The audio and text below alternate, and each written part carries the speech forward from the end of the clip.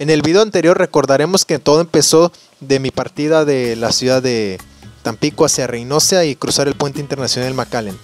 Posterior a eso me instalé en el hotel y seguido me fui a recorrer un rato el centro de McAllen para así más casi a la noche recorrer el centro comercial, la Plaza Mall y después de eso ir a comer al restaurante House of China. Para la mañana siguiente fui al restaurante Country Pancake House, donde ya les había dicho que venden una gran variedad de panqueques y todo para desayunar. Y de ahí me fui al outlet de Mercedes, Río Grande, Valley, Texas, donde puedes encontrar una infinidad de artículos, ya sea ropa, ropa, este, relojes, calzado y artículos para el hogar. Y así fue como finalizó el, mi día en McAllen, para posteriormente preparar mis cosas y dirigirme hacia la ciudad de South Padre Island. Y a continuación en esta segunda parte verán cómo fue mi día a día en este maravilloso lugar. Luego de salir de la ciudad de McAllen para dirigirme a la isla del Padre, ya casi llegando me encontré con otro bonito parque eólico. Y lo mejor de de este parque es que estaba casi pegadito al mar. Justo antes de llegar a la isla, llegamos a un pequeño pueblito llamado Puerto Isabel, también en Texas, que está en el condado de Cameron. Y podemos apreciar también que en este pueblito hay muchos negocios, que los que sobresalen los de artículo para pescar, ya sea ropa, cañas, incluso carnada. Hasta puedes encontrar marisquerías y, y restaurantes de comida mexicana. Cabe destacar que los restaurantes de mariscos son luego casi la mayoría son de origen mexicano, ya que según luego vi que sirven este con mariscos estilo Veracruz, que es el estado del que yo soy. Y muchos tienen nombres relacionados con, al, con, el país México. También, también justo después de haber pasado Puerto Isabel, me dirigí para llegar, entrar a la mera isla a cruzar un gran puente que también que lleva el nombre de Puente Isabel, esto también en honor a Isabel, la católica. Podemos también notar que también ahí hay muchos letreros de cuidado con los pelícanos, hay hasta puedes hasta ver luego a personas ahí pescando en otro puentecito entablado que está ahí para que puedas cruzar a pie hasta se puedes ver hasta los botes y lanchas ahí navegando hasta gente haciendo parapente en lo, en lo largo de la bahía, que por cierto tiene el nombre de Laguna Madre. Una vez cruzando el puente, tendremos una bonita vista de lo que son la isla del Padre, que es este que está en su mayoría compuesta por apartamentos.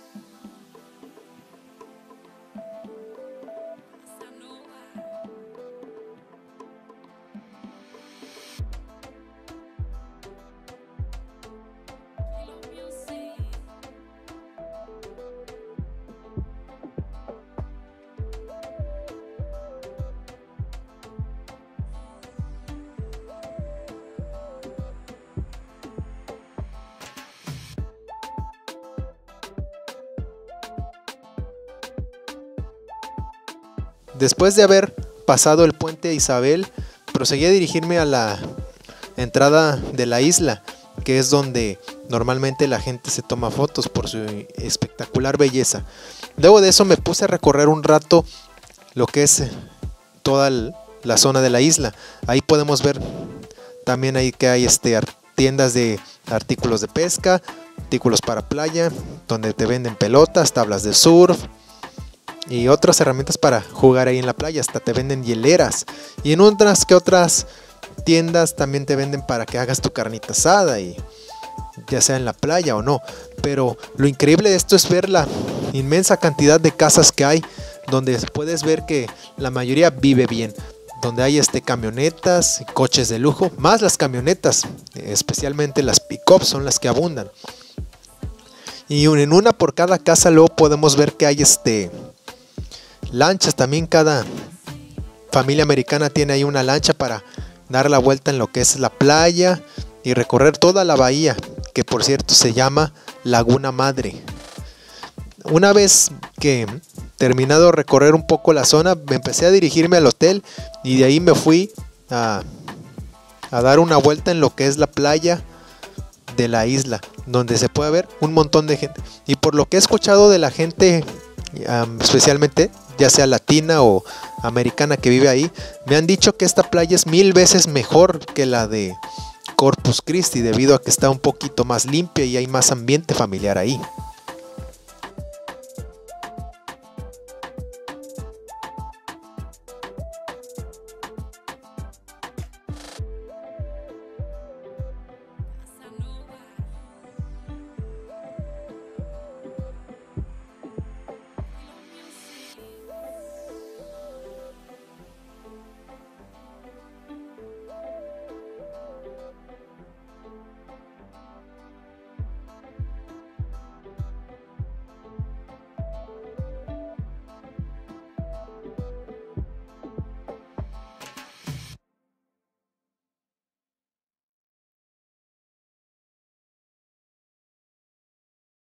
Bueno, después de haberme instalado en el hotel y de haber descansado un ratito, me dirigí a la majestuosa playa de la isla.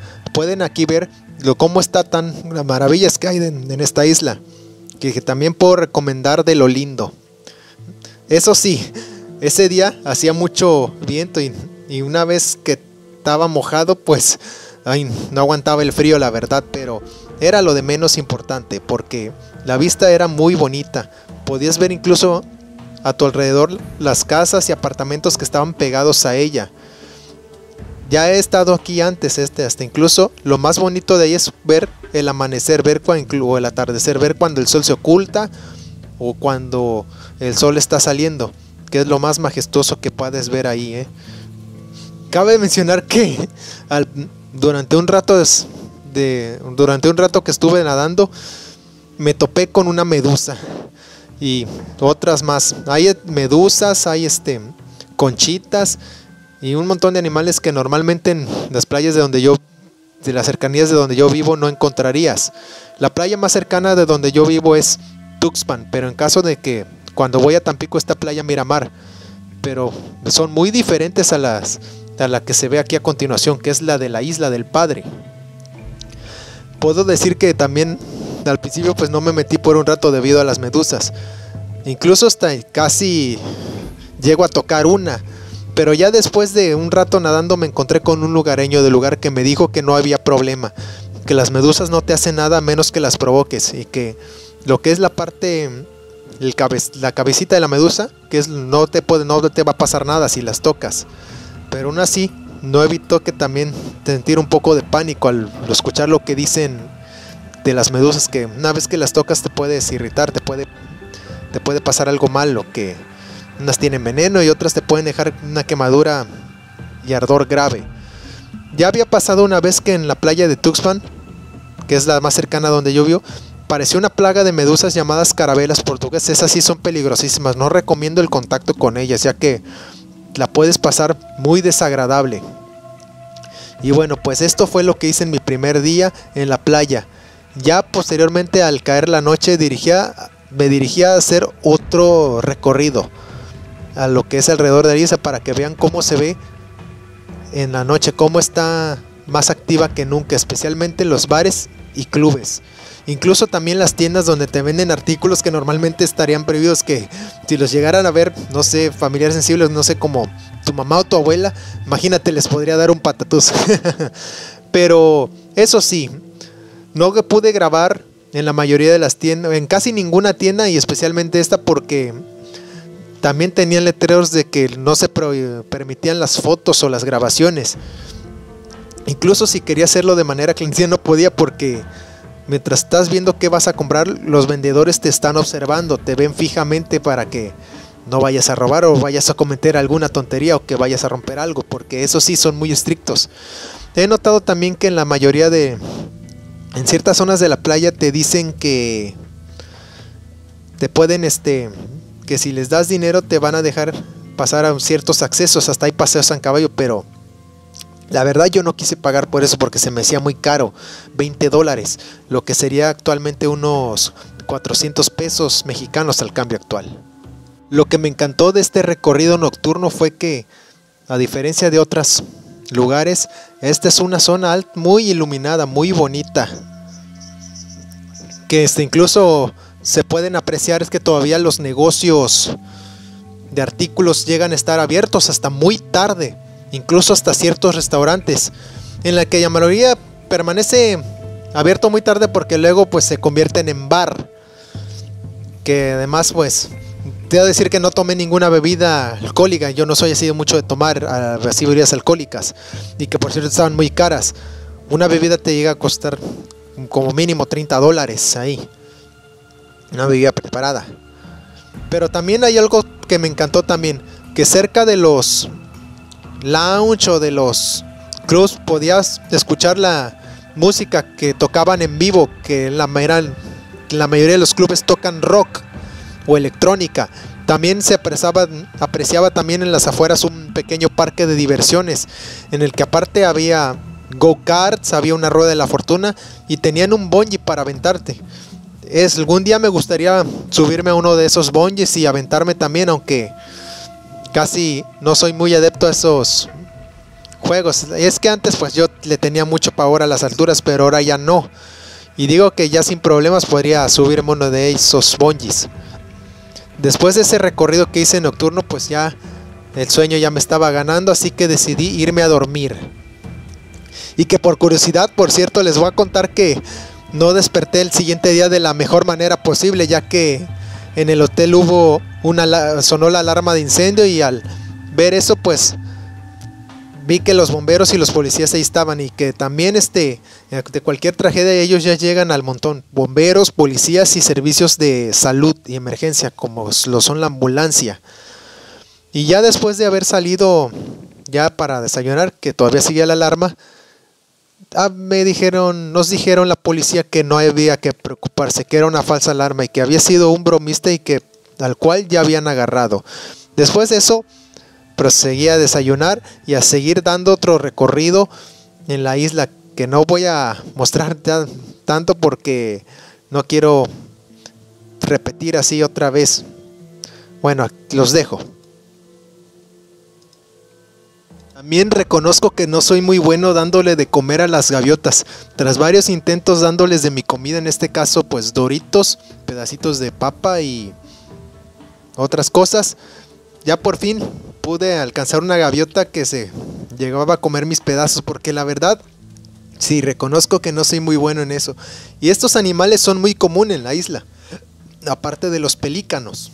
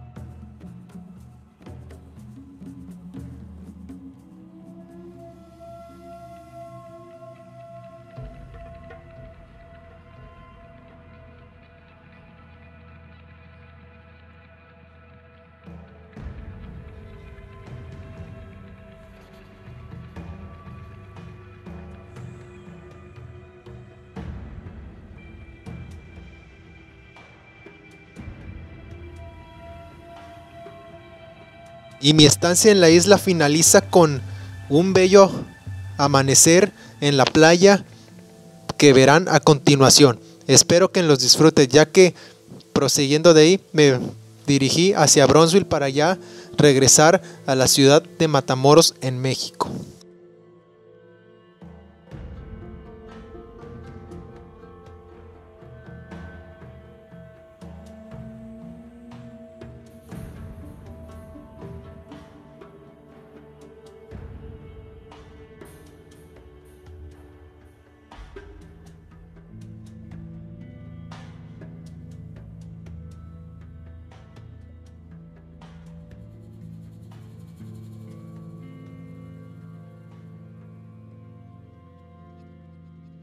Después de este bello amanecer que les mostré a continuación, proseguí a dirigirme a la ciudad de Bronzeville. Cabe mencionar que esta es la primera vez que entro a fondo en lo que es el centro de la ciudad, ya que nunca había estado ahí, ahí de momento, nunca la había visitado a fondo. Solo he, solo estado ahí de paso cuando voy rumbo a la ciudad de Matamoros, ya que esta ciudad es, tiene frontera con, también con esta ciudad de Tamaulipas, que es Matamoros. Y me impresioné al ver cómo difiere mucho en lo que es calidad y, apariencia, a diferencia del centro de McAllen, ya que también este, había letreros de se busca ayudante y que estamos contratando, pero tristemente también quiero decir que el centro no era lo que yo esperaba porque Bronzeville se veía, el centro se veía un poco triste la fachada de las tiendas ya estaba un poco vieja, ya eran, la mayoría eran edificios antiguos y o ya les faltaba que les arreglaran o que les modificaran la estructura. Así incluso llegué a ver uno que tenía este, los vidrios rotos y así por el estilo. Y no sé si también por el día o yo no sé, pero yo creo que no, a pesar de que ese día era viernes. El centro se veía un poco solito, ya no había tanta actividad como pasa en otros lados del estado, como, ya dije, McAllen o Padre. Pero al menos este, había también, como en McAllen también, todo estaba muy barato.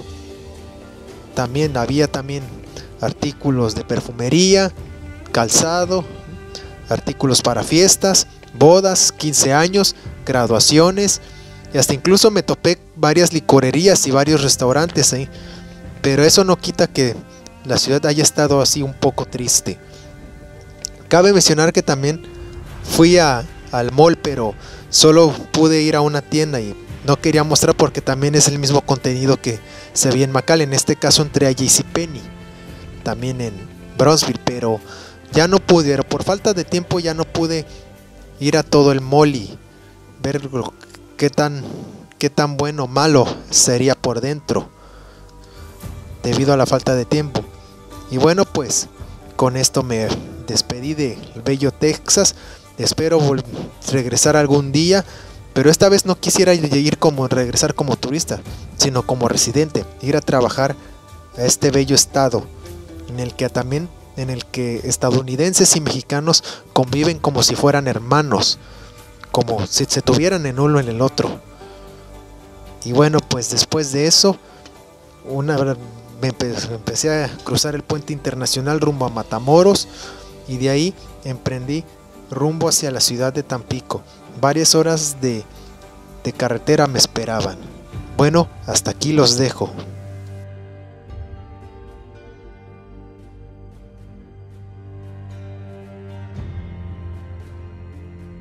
Quiero mandar un saludo a Eric Casanova, ya que gran parte de la ambientación musical que escuchaste en este video fue de su autoría. Es hora de los saludos. Mando un saludo a Miguel Lara, a Mafe Romero, al dúo Iron Chic, David y Marina, a Rido Play y Anímate con Mindy, al equipo Dino Rey conformado por Alfonso Vera Barajas, Félix Cruz Morales, Vladimir Morales, Yesenia Reyes, Laura Rockefeller Baut y Chino Moreno, a Alvin Lugo, a Jesús Andrade y a Mayrani Sagaón, a Carlos Monroy Medina, a Ana Karen Morales, a Esther González, a Yadir Hernández, a Jessy Pesina, a Roselia Juárez y Cheche Carballo, a Nacheli Cruz Arano, y Leslie Cruz Arano. A Nayeli Matías Cruz. A Armida Sánchez y Diana Ebrián. A Valeria Nicole Peternel Cuervo. A Paola Cuervo. A Denise Cuervo. A Fabricio Cuervo y Diana Cuervo Gómez. Al ingeniero Itzelaime Cuervo Gómez y sus hermanas Abigail, Mari y Migdalia. A Lucero Juárez. A Valerio Bando. A Carlos Castillo. Al ingeniero, ah, al ingeniero Rebeca Ramírez Ahumada, al teacher Raúl Iván, al ingeniero Diana Heréndira del Ángel Grer, a Juan Luis Bautista Hernández, a Carla Estivalet Hernández, a Alejandro Castillo, a Ángel Armenta, a Ale Mendoza y Fanny Mendoza, a Camila Torre, a Vanessa Bautista, a Jennifer y Freddy Lugo, a José Oscar Contreras Méndez, a Neri Pascual Lira y Jesús Antonio Malerba Ramírez, a Jazael González Mar, a Carolina Salvador, a Pablink, a Meriwis Lobato y a Miriam Romero, Jorge Antonio Ramírez Rincón, todos ellos que nunca se pierden ningún video de IRC Media. Saludos. Bueno amigos, pues espero que les haya gustado este video, así que pues me despido. Espero haberlos entretenido un montón con, con mi viaje. Y pues, así que pues, si te gustó el video dale like, suscríbete y pues no te olvides de activar la campanilla de suscripción. Saludos por parte de Isrix96. Los quiero.